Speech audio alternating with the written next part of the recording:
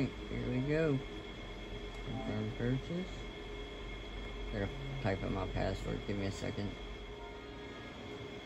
Alright, here we go. Yes. Alright, I'm gonna go ahead and download it because I'm not sure if I have enough space right now. Alright, so I only had to delete one game and that was Cyberpunk 2077, which is no biggie to me considering I don't really play it that much anymore anyways. So, yeah, can't wait to do gameplays of this.